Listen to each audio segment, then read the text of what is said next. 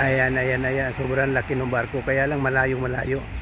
Kahit na eh, paano pa natin siyang i-zoom dito sa sa ating cellphone pero talagang malayo. Malabo po eh. Oh. Malabo, malabo po. Kaya ayan po, samahan nyo lang po kami. Kahit na ganun kalayo po.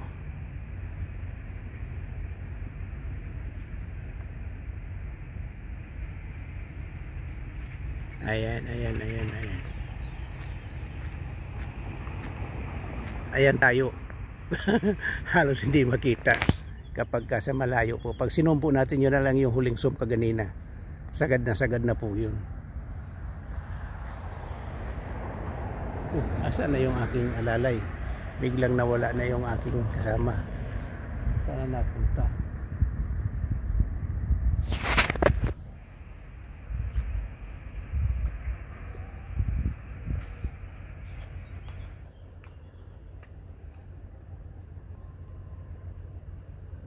Ayan po, ayan po, buenas buenas dias. Magandang umaga mga kapatid.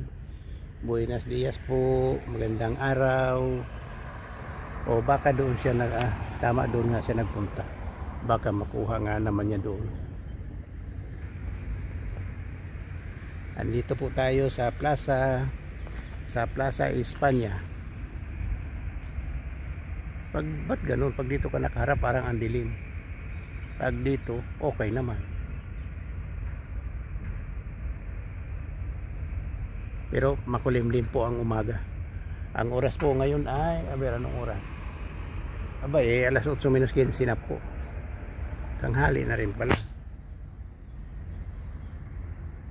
Ayan po pasikat na po ang araw. Ayan po sa may barko. Ah. ayan po mga kapatid ayan po Samahan niyo po kami mga kaibigan. Magandang magandang umaga. Paulit-ulit na lang po. Magandang magandang umaga. Good morning, good morning. Ayan po ang ating buhay dito sa Tenerife. Sa Tenerife, Spain. Asa na si Mrs. Nandun pala si Mrs. Malayo po yung kanya. Pinagpupwestuhan.